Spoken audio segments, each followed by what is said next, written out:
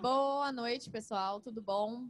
Hoje a gente vai falar um pouquinho sobre educação e tecnologia, como ensinar e aprender no mundo tecnológico.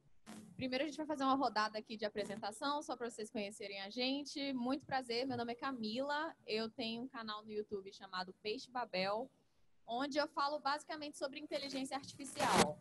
Então, todos os aspectos todos os aspectos que envolvem tecnologia, impacto social, a parte técnica um pouquinho também.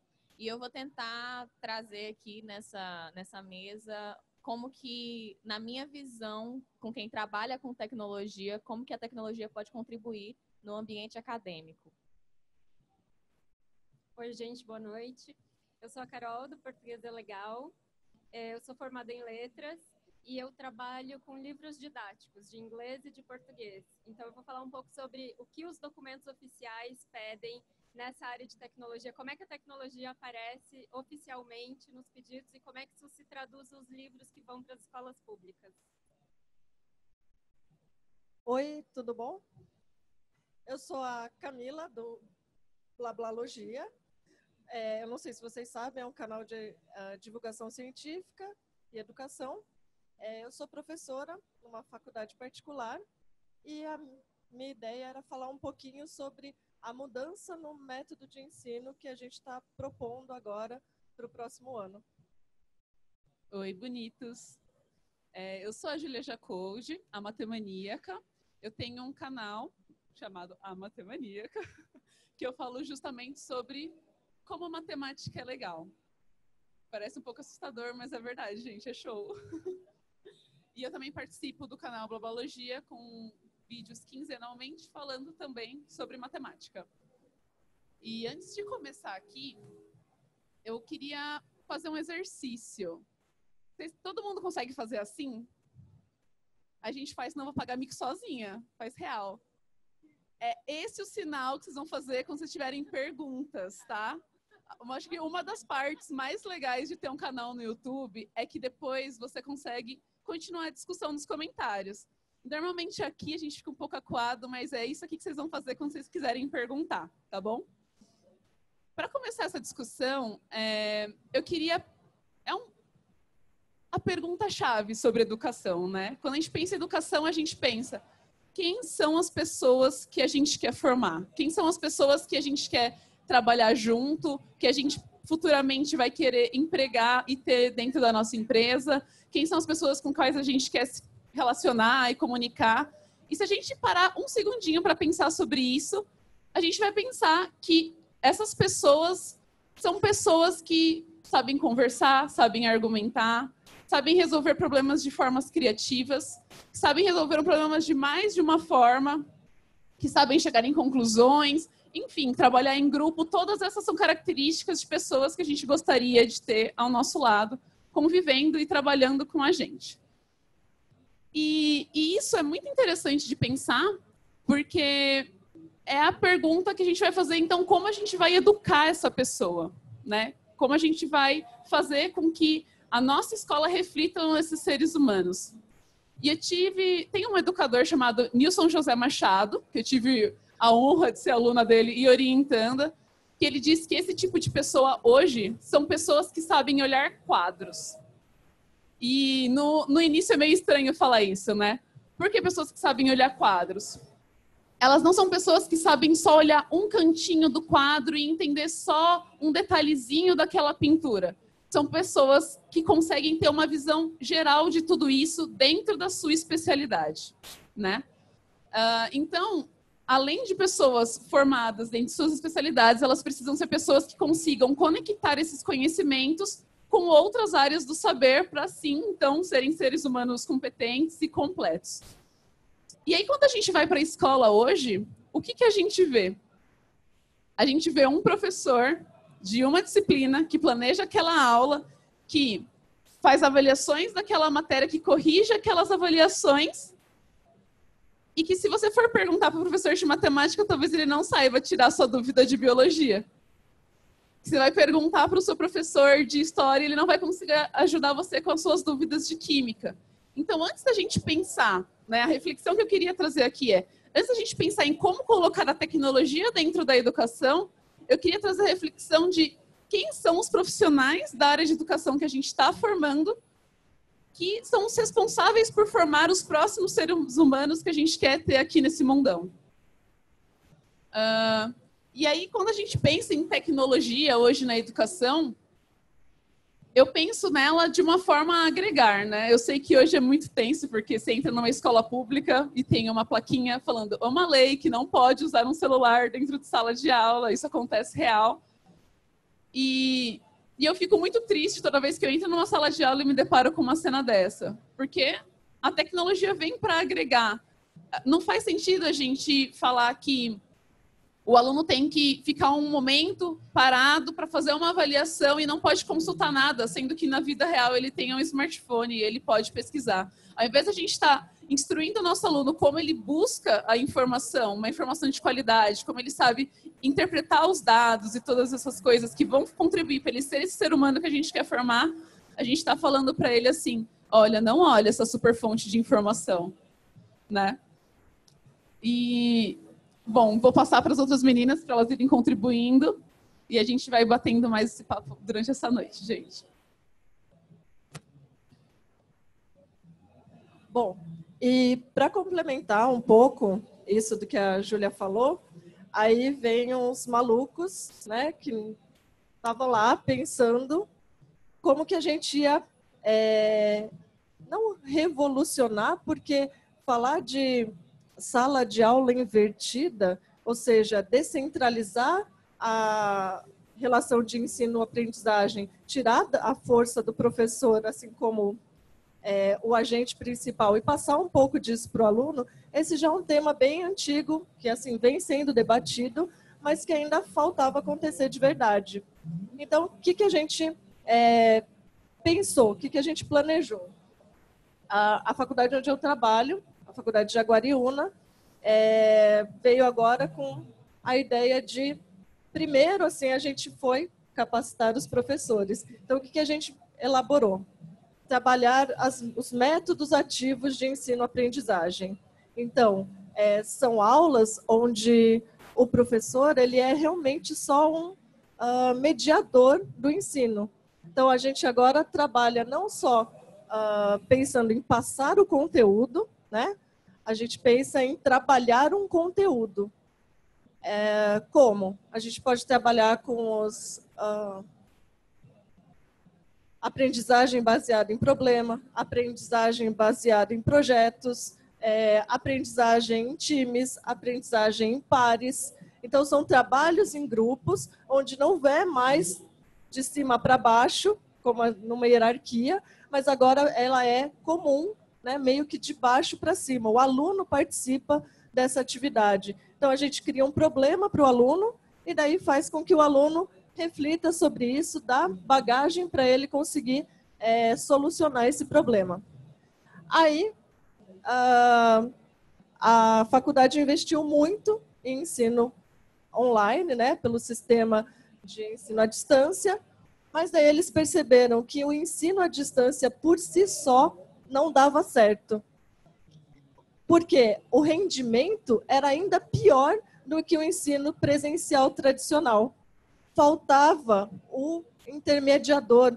Pessoas gostam de pessoas. A gente gosta de ter alguém ali para dar uma forcinha, para dar um apoio, né? Moral, emocional, dar um, assim, servir de guia mesmo. Então, a gente elabora agora um sistema híbrido. Híbrido no sentido de algumas faculdades ainda pegaram e falaram: ah, a gente vai fazer um sistema híbrido, então vai ter disciplina que é presencial e disciplina que é à distância. Não, isso não é híbrido. Híbrido é você pegar um mesmo conteúdo, trabalhar ele à distância, então você dá um espaço para o aluno é, uh, interagir com o material sozinho e depois você cria uma situação para aquele aluno trabalhar esse material com o professor. Então, a primeira coisa foi mesclar esses dois sistemas. A gente precisa do material online, da aula online, uh, do conteúdo online ali, né? Mas a gente ainda precisa do professor como mediador disso. Então, agora a gente tem esse sistema híbrido de ensino. A outra coisa que a gente fez foi quebrar as disciplinas. E aí a gente não trabalha mais com a disciplina de matemática isoladamente, a disciplina de biologia. A gente trabalha com as competências. Ou seja, o que, que eu quero que o aluno atinja ao final do meu curso? Que a competência ele vai ter e que habilidade ele vai ter depois de cursar aquele período. Então, a gente trabalha agora. Então, a gente tem um sistema híbrido, trabalhando por competências e baseado em projetos. Então, esse primeiro semestre, o que, que a gente elaborou? Um projeto né, para o curso de engenharia agronômica, onde ele faz, uh, ele vai trabalhar com plantio. Então, o que, que o engenheiro precisa saber lá no comecinho? A gente ficou, quebrou a cabeça. Ah, vamos falar que ele precisa saber como construir instalações rurais. Para construir instalações rurais, ele tem que saber física, uh, ele tem que saber materiais para engenharia, resistência dos materiais, mas ele vai ver tudo isso, todo o conteúdo? Não. Só aquela partezinha que precisa para ele desenvolver o projeto. E aí a gente está trabalhando com microciclos. Depois de fazer as instalações rurais, ele vai fazer um projetinho curto de um mês, onde ele tem uma semana de planejamento, para meio que a gente seguir o que seria o método científico. Então, para, planeja, define seu objetivo, cria suas hipóteses, estabelece suas condições para depois você pôr o, o projeto para rodar. Para no final você ter, a gente estabelece né, alguns testes pelas quais as, as instalações rurais dele, as maquetes vão passar, então, ah, resistência, resistência a vento, resistência a peso. E aí ele submete o, o, o trabalho dele, o projetinho dele. E a gente espera que dê errado porque daí ele vai ter um período de ajuste, que ele vai ter que replanejar tudo isso e ajustar para ver se agora passa. E, Camila, e se o aluno não passou? O trabalhinho dele não deu certo, é zero? Não, porque depois de fazer uma análise de dados, ele vai fazer a divulgação daquilo. Como que ele pode fazer essa divulgação? A gente fala, ensina ele como que monta um banner, como que faz uma apresentação oral, como faz um relatório, um artigo. E aí sim, a argumentação dele nesse trabalho é que vai dar a nota para ele. Fora isso, o que, que a gente imagina? Que ao longo desse período ele vai ter atividades autodirigidas, aí sim, num sistema online, EAD, e é mesmo nessas atividades, ele vai lá aprender uma partezinha de resistência dos materiais que ele precisa para o projeto. Depois disso, ele faz uma atividadezinha. Ah, tem um dia que eu preciso mandar um professor, um tutor, do projetão. E aí esse cara tem que ser super versátil. Ele não pode ser tão restrito só aquilo que ele sabe. Ele tem que ser versátil no ponto de saber orientar um projeto e não conhecer todos os conteúdos inimagináveis, porque o conteúdo está na plataforma é, online. E eu acho que, não sei se alguém tem alguma dúvida, era meio que essa loucura que a gente tem está fazendo desde 2013. Então, mudar a cabeça do professor para ele trabalhar com essas metodologias ativas e agora pegar esses professores para a gente criar os projetos pensando em todas as competências e habilidades que um aluno de engenharia agronômica, engenharia ambiental, biologia, matemática precisa saber para completar o seu curso. É, mas a gente ainda precisa muito da ajuda uh, das tecnologias. A ideia que eu acho que a gente entendeu é que não adianta usar a tecnologia para reproduzir aquilo que a gente já fazia de errado. A ideia agora é a gente quebrar esse paradigma de a gente domina o conteúdo e o aluno pega e absorve, porque a gente se baseia muito no mostrar. Olha, isso aqui é o que vocês têm que saber, tá bom? Agora se vira. E não, a gente não, não aprende assim a gente aprende fazendo. Então, bora fazer e acho que é isso. Bom, eu vou falar um pouco então sobre livros didáticos. É, eu não sei se vocês conhecem como funciona o mercado de livros didáticos, a elaboração de um livro didático aqui no Brasil. A gente tem basicamente dois mundos. Um mundo é o livro que vai ser feito para um contexto de escola particular, e o outro mundo é o livro que vai ser entregue para o governo e o governo vai fazer a redistribuição para as escolas públicas de todo o Brasil. Quando a gente faz um livro que vai para uma escola particular, o livro, uma vez o livro pronto, eu posso vender para a escola que eu quiser e as escolas que quiserem vão adquirir.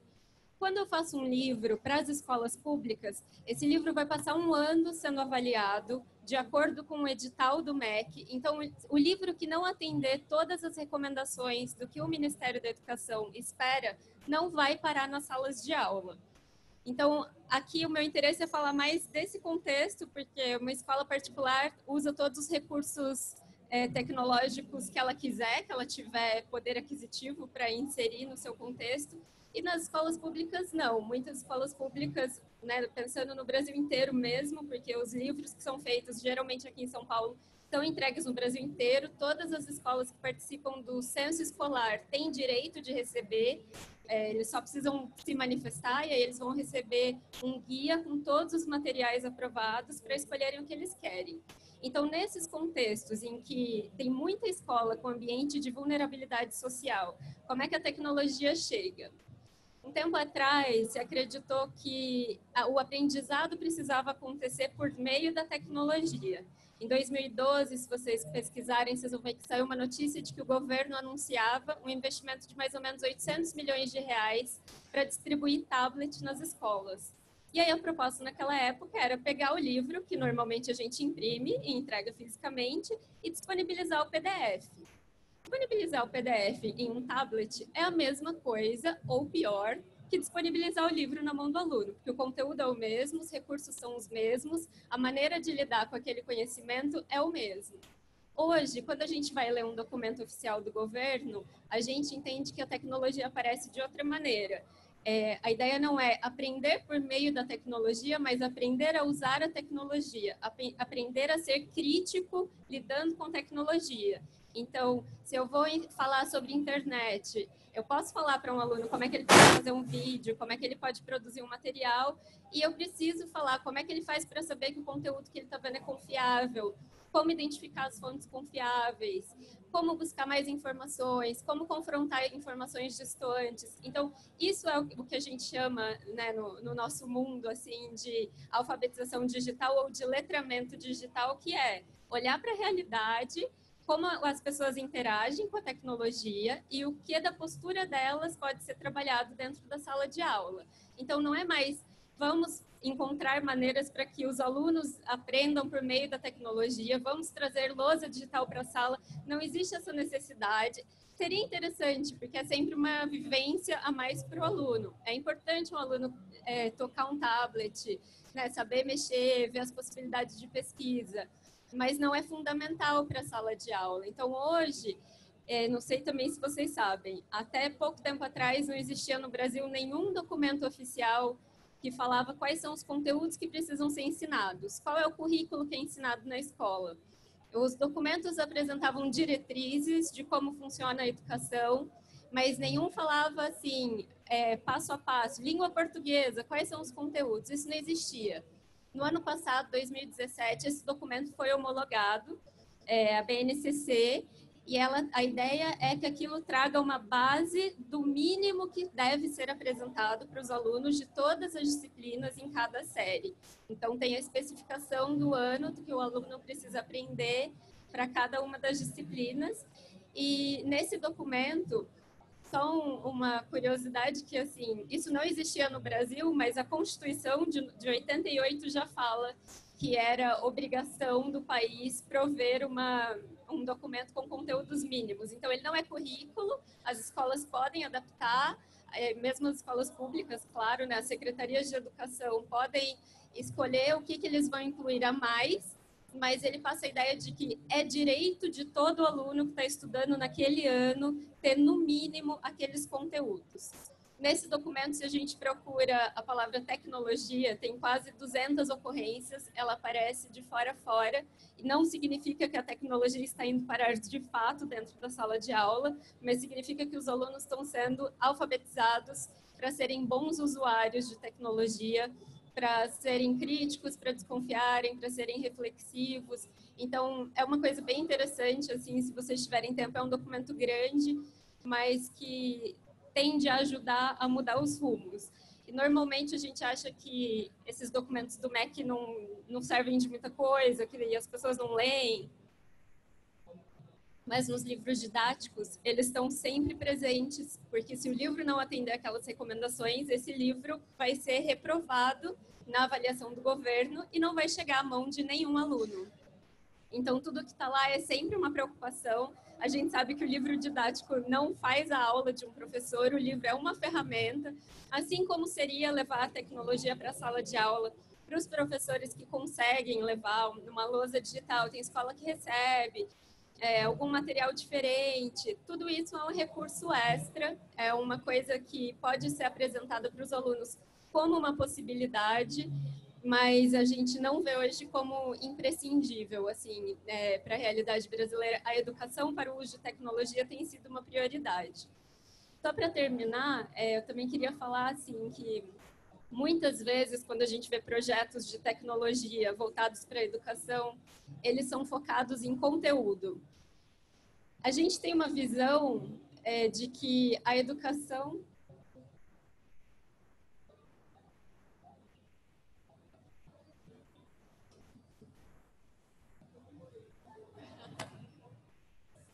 Boa noite, meu nome é Tainã, eu sou professora e assim, é, na escola onde eu trabalho, a coordenação eles pedem para a gente seguir como orientação o currículo, né?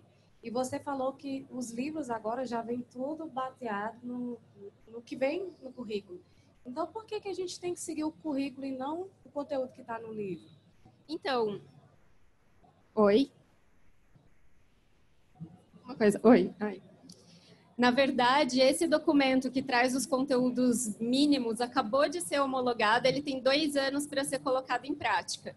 Então, a partir de hoje, os conteúdos que vão ser que vão sair nos livros já vão estar de acordo com esse documento, mas de toda maneira, como ele só traz conteúdos mínimos e não um currículo completo, cada escola, cada município, cada estado ainda vai ter autonomia de dar suas próprias recomendações. Então, o mínimo está lá e não pode ser deixado de lado. É, de alguma maneira, tem um lado positivo, mas também tem um lado de que ele ingessa um pouco o ensino, né? Por fixar em que ano vai precisar entrar cada conteúdo. Mas ele pode ser extrapolado e aí cada escola vai, de fato, ter o seu currículo próprio, personalizando aquilo. Não vai ser um padrão. É, eu estava falando que é muito comum quando a gente vê falar sobre tecnologias voltadas para a educação, que as tecnologias sejam pensadas para ajudar o aluno a reter conhecimentos, a, a adquirir conteúdos, como se a educação fosse só isso. Quando a gente vai ler um documento oficial sobre o que é educação, eles usam a expressão formação integral. Todo aluno tem direito à formação integral. Não é formação em tempo integral, mas é a formação do aluno como ser humano, como cidadão, não só como uma pessoa que vai aprender conteúdos, mas como uma pessoa que vai aprender a argumentar na sociedade, a entrar num debate, a é, fazer negociações, a cuidar da sua vida financeira, tudo isso agora é previsto. Sempre foi, né? Assim, mas oficialmente isso tudo está previsto como parte da educação.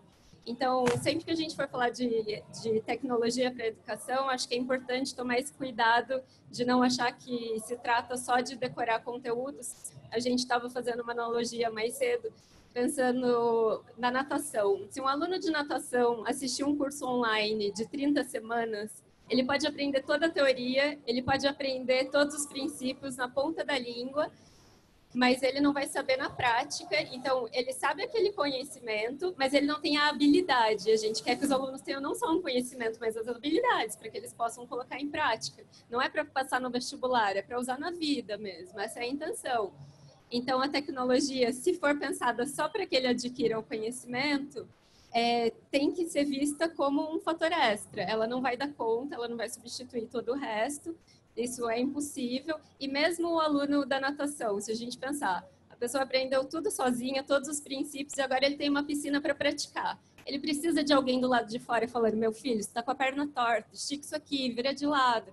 E a gente também, se pensar na minha área de linguagens, Um aluno que vai escrever uma redação, se ninguém corrigir, essa redação mostrando onde ele errou, não serviu de muita coisa, porque ele precisa de direcionamento.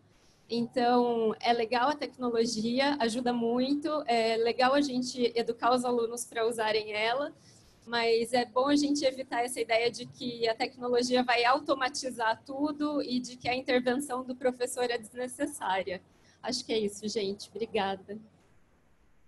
Bom, a, as meninas elas falaram muito sobre como que você tem que pensar em como remodelar a ideia, como que a gente pensa em educação e que tecnologia é só tipo a cereja do bolo, seria algo assim.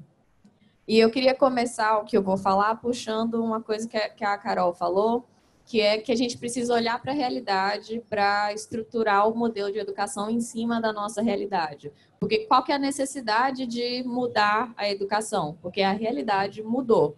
Na época que esse modelo foi padronizado, foi instituído, o professor ele era o, o concentrador de conhecimento, porque a alternativa ao professor era você sentar na biblioteca, você mesmo fazer pesquisa em vários livros. Eu nem conheço essa realidade, para ser sincero. Eu sou muito nova, então não conheço essa realidade, onde a alternativa ao professor era você encontrar a prateleira do livro na biblioteca e juntar esse, aquele aquele livro e você construir o conhecimento que o professor já fez esse trabalho de construir. Então você não precisava fazer aquilo de novo. O professor ele era o foco, ele era a referência. Então esse modelo ele servia, ele era bom. Então, você tinha recursos limitados, você tinha um mundo que era menos dinâmico, as coisas elas não mudavam tão rápido quanto mudam agora. Então, de fato, a gente precisa remodelar o, o ensino porque a realidade mudou pra caramba. Então, como é que a gente olha para essa realidade para tentar propor coisas novas? Eu vivo totalmente imersa em tecnologias que às vezes nem estão no mercado, nem são comerciais ainda, e eu fico olhando, tipo assim, poxa, a gente tem inteligência artificial, aprendizado de máquina, que recomenda filme no Netflix para vocês, recomenda músicas no Spotify para vocês, consegue traçar o seu perfil com uma riqueza de detalhes tão impressionante. E a gente não tem isso aplicado, por exemplo, na, na sala de aula. A gente poderia ter um modelo de ensino adaptativo que, que conseguisse traçar o perfil do aluno e entender qual é a melhor forma desse aluno aprender. Essa atenção exclusiva é uma coisa que o professor ele não consegue fazer. É, por mais que ele tente, por mais que ele queira, eu pessoalmente não sou professora, eu não sei, mas as meninas podem falar. Por mais que você tente, você não consegue dar atenção exclusiva para cada aluno. E isso a tecnologia ela pode dar. Então a gente tem isso na mão, a gente precisa botar na cabeça que isso existe, isso pode ser aplicado e isso poderia enriquecer pra caramba a sala de aula. Então, um ensino personalizado que sabe se esse aluno aprende mais lendo, ouvindo, fazendo, vivendo a coisa, sabe quanto que pode acelerar mais o, o, as lições, dar lições mais difíceis, mais fáceis. Não, esse aqui pega coisas mais devagar totalmente adaptativo. Isso seria possível de fazer. E a gente precisa, pelo menos, tentar começar a instituir esse tipo de coisa, por exemplo. Igual a Carol falou, não adianta falar assim, ah, tem tablet, vamos comprar tablet e botar os livros no tablet. Não adianta. A gente precisa olhar o potencial daquilo. Pô, o que, que eu posso fazer com o tablet? O que, que eu posso fazer com um óculos de realidade virtual na sala de aula? Como que eu adequo a experiência do aluno usando as ferramentas que eu tenho hoje e que eu não tinha ontem. Quando eu estava conversando com as meninas, que a Carol falou que ela ia falar sobre livros didáticos e não sei o quê, eu fiquei muito intrigada com como que, pelo menos na minha área da computação, como que a mídia impressa é algo que quase que a gente não usa mais, a gente não usa, praticamente não usa livros, a gente não, não, não faz mais essas coisas, porque quando a gente publica, eu faço pesquisa, quando a gente publica em uma revista qualquer que demora um ano para sair, daqui que aquele negócio seja de fato publicado, aquilo ali não serve mais para gente. Então, é, é uma, um cenário completamente diferente que precisa ser adaptado. Então, a, eu acho que a relevância disso tudo que a gente está falando aqui é que a gente precisa começar a pensar em como que a gente vai remodelar o, o, o, o estado atual né, do ensino. Então, do lado das meninas que trabalham com educação, elas têm essa visão do que o aluno precisa, do que o professor precisa também. E do lado da gente que trabalha com tecnologia, a gente está aqui falando, gente, pelo amor de Deus, olha o que a gente tem na mão e vamos colocar isso na sala de aula. Olha o poder que a gente tem aqui que não está sendo usado para formar pessoas melhores, como a Júlia falou. Quem são as pessoas que a gente quer formar? Quais são as ferramentas que a gente tem na mão para formar essas pessoas? E quais são as necessidades dessas pessoas? É isso que a gente precisa começar a pensar e começar a colocar em prática de fato se a gente quiser ensinar e aprender no mundo tecnológico. Né? Acho que é basicamente isso. Não sei se eu falei pouco. Se vocês quiserem falar mais.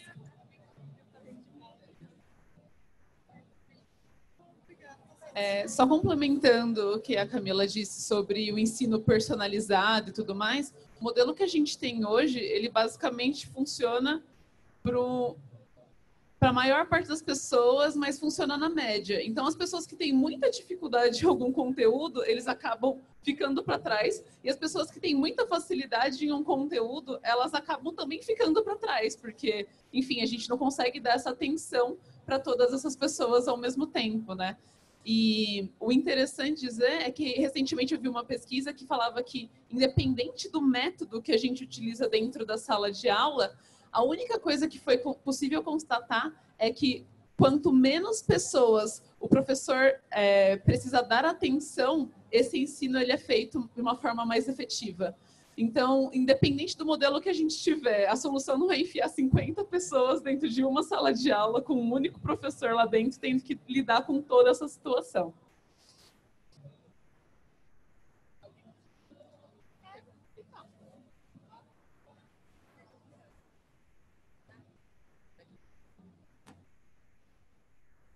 É, boa noite a todos, parabéns pelas falas. É, diretamente para Camila, mas para todo mundo pode também participar. Você trabalha diretamente com, com inteligência artificial, com aprendizado de máquina e essas coisas. E aí você falou que a gente tem um ferramental que pode ser utilizado para particularizar, personalizar a formação do estudante e, e aí eu pergunto para você como você vê o papel do professor no ambiente onde a tecnologia digital consegue fazer o papel de atender a principal falha que a gente tem no sistema, que é a não particularização do ensino. O professor fica onde dentro desse contexto onde um Watson pode se comunicar com todos os alunos ao mesmo tempo, só que tratando cada um de uma forma diferente dentro da sua diferença? Então, é, pelo menos no ponto que a gente está hoje agora, o que a gente tem é a capacidade de traçar perfis.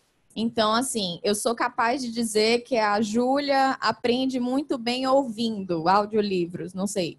Eu vou conseguir classificar ela como o tipo de aluno que você tem que estimular a audição. Então, eu vou adaptar o conteúdo que vai para ela de acordo com as necessidades dela. Mas isso não substitui o professor, é igual a Carol falou você quer que o aluno tenha habilidade, ele precisa ter a experiência completa do, do aprendizado participativo, ativo, a partir de projetos e tudo mais. E o papel do professor vai ser o executor, eu acho. Porque você vai ter a, a, o perfil do seu aluno, você vai ter a sugestão que vai chegar na mão do professor. Olha, a necessidade desse tipo de aluno é essa daqui. E o professor é quem vai executar ele que vai pegar, vai, vai ser o intermediário entre a inteligência artificial e o aluno. Na verdade, isso mais ou menos já tem sido feito, por exemplo, é, em escolas particulares dos Estados Unidos, eles adaptam a forma que eles aprendem matemática, né? Que você pode nivelar a dificuldade dos problemas. Então, essas estatísticas elas chegam no professor e ele consegue nivelar o momento em sala de aula eu tenho que focar mais em quê? O que foi que a maioria dos meus alunos teve dificuldade e qual que foi a melhor forma que eles aprenderam fazendo os exercícios em casa, no, via o software lá. Então, esse software ele vai ser capaz de traçar perfis, mas ele não substitui de jeito nenhum o papel do professor, porque ele não tem essa habilidade de didática, eu diria até. A gente não tem nenhuma inteligência didática para ensinar para o aluno, eu acho. Vamos saber algo, né? Eu posso falar por experiência pessoal que eu detestava matemática, a vida inteira detestei, e o que me ajudou é um pouco do discurso que a Camila falou, que tem a ver com o aluno ver o propósito do que ele está fazendo.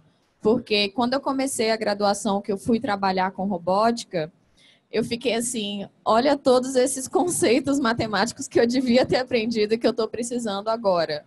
Então, quando eu vi que eu precisava daquilo e para que que eu precisava daquilo, eu afoguei nos livros até eu conseguir fazer, porque eu tinha um objetivo. Eu queria fazer um, um cálculo de trajetória assim, assim, assim, para o robô chutar a bola para tal direção. Eu, esse era o meu propósito.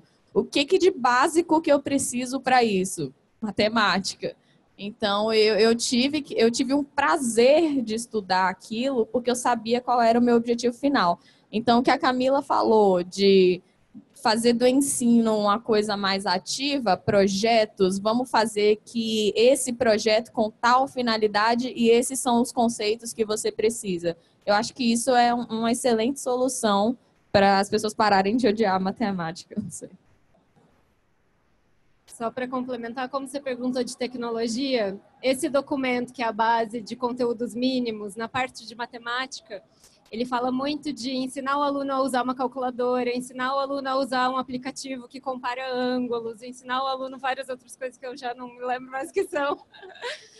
E, e na de português também fala sobre ensinar a escrever um texto num editor de textos, no Word. Então, tem gente, eu tive aluno de redação que me mandava texto digitado no Word, que estava grifado e vinha com erro de ortografia. Então, assim, existia, acho, na área de matemática um preconceito também de o aluno precisa saber tudo, não pode usar calculadora, tem que saber de cor não é para ficar consultando nada. E hoje, com a velocidade com que o conhecimento se amplia, é, não dá mais para demandar de todo mundo que domine todas as áreas. Então, uma pessoa que sabe muito de matemática pode ser que não tenha grande afinidade com português, mas se ela souber usar o corretor, está de bom tamanho. Da mesma maneira, uma pessoa com afinidade com linguagens ou biológicas pode não ser um grande especialista em matemática e pode nem precisar disso na vida, na carreira. É, mas desde que ele conheça as ferramentas que ajudam a, a resolver problemas do dia a dia, né? Ou a entender um, alguma coisa que provavelmente nem é tão difícil de entender, mas às vezes por meio da linguagem matemática a gente acha que é impossível. Talvez seja um caminho, assim, para que todo mundo lide bem, consiga patinar um pouquinho em, em todas as áreas.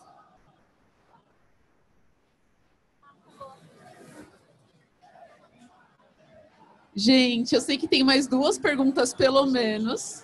A última? Ai, vai ter a última. Aí, a, mas quem tiver dúvida e ainda quiser conversar com a gente, a gente vai estar por aqui, tá bom? Posso perguntar? Boa noite, meu nome é Rodrigo. É, antigamente, quando você ia escolher uma carreira, o método era fazer o vestibular, mas era você fazia várias provas. Você verificava a carreira que você queria, ia na universidade e se inscrevia nela. Posteriormente vem a unificação e aí você faz uma prova só e com aquela nota você vai escolhendo o seu curso. Então, antigamente se costumava falar que o aluno tinha que é, verificar o que ele gostava de fazer, mas dependendo da faculdade ele podia variar. Depois veio a sua nota e com a nota do Enem você tem que ver o que você pode fazer. E futuramente estão querendo fazer uma, uma, uma reforma no ensino médio. Com a, com essa reforma, eles vão é, especificar o ensino médio. Então, aquele aluno que antigamente ele não sabia o que ele queria fazer na faculdade, ele tem que começar agora a escolher no ensino médio o que ele quer ser, o que ele vai fazer, o que ele vai estudar e vai abandonar algumas matérias. Como é que vocês acham que, se isso acontecer, vai influenciar no, no, na educação? Eu posso começar? Todo mundo quer muito falar sobre isso, eu sei. É, eu acho que essa é uma das minhas maiores críticas quanto à reforma do ensino médio, porque se com 18 anos já é novo para a gente escolher o que a gente quer estudar pelos próximos 4, 5 anos, escolher com 15, então, que martírio, né? É, é uma grande.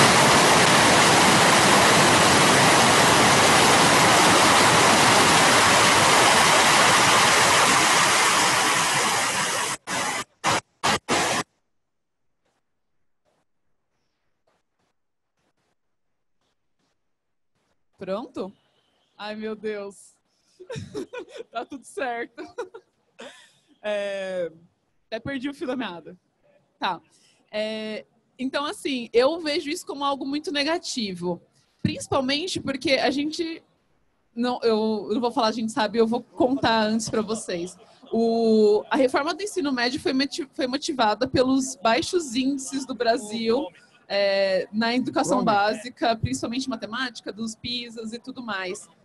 E aí falaram, beleza, a gente tem que fazer alguma coisa. E o que eles estão fazendo é qualquer coisa, na real, para melhorar a educação? Não, para melhorar os índices. E com a falta de professores, o novo ensino médio vem com, assim, né? Você tem um básico de português, você tem um básico de matemática e depois você escolhe o que você quer estudar.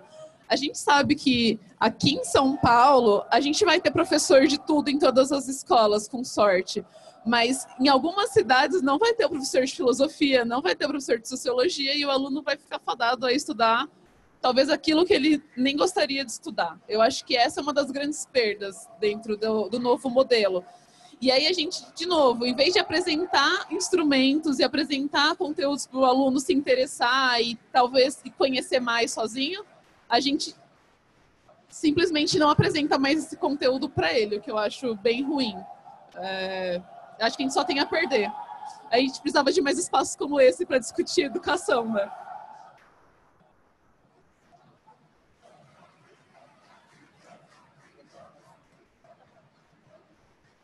É, só para complementar, então eu concordo com a Júlia, eu também acho uma pena, é, acho que é tirar dos alunos a chance de se seduzir por uma área que eles não conhecem. E o grande problema é o discurso de que o aluno pode escolher não é tão verdadeiro, porque o documento da reforma do ensino médio fala que a escola é obrigada a oferecer, no mínimo, uma área. Ou seja, só tenho professor de português e matemática, essas são as áreas. Você queria fazer química, biologia, não vai rolar. Então, se todas as opções estivessem de fato disponíveis e fossem obrigatórias para que os alunos pudessem conhecer, o documento também diz: o aluno que fizer escolher uma trajetória e depois se arrepender ou quiser fazer outra, ele pode, mediante disponibilidade. Ou seja, não só a escola pode não ter a área que ele quer, como não pode, pode não ter vagas. Então, todas essas variáveis assim são muito negativas e no fim a gente já desconfia que o que vai acontecer é a diminuição da oferta de áreas, né? Então acho que é, é uma perda de fato, é uma pena. Acho que é isso. E aí a gente vai para o movimento contrário. Em vez de a gente incentivar a formação de professores, de um, forma, um professor mais completo para poder atender a demanda que a gente precisa hoje da educação, a gente simplesmente fala, não precisamos de uma licenciatura, qualquer um que tem um notório saber do conhecimento pode dar aula, e não é todo mundo que vai ter todas as opções de trilha do ensino médio. Então a gente só tem a perder e a gente está quieto em relação a isso, só vendo isso sendo aprovado dentro da Câmara e é, é muito triste, é muito triste. Não queria chegar na parte triste da educação, gente, vamos acabar aqui. é, para a gente não acabar chorando, só por isso a gente tem que discutir. Mas, gente, foi uma honra estar com vocês aqui. Muito obrigado pela atenção. A gente vai estar aqui para estar conversando, porque o tempo acabou. Camilas, Carol, muito obrigada por compartilharem desse momento com a gente também. E é isso, gente. Beijinhos. Bons estudos para vocês.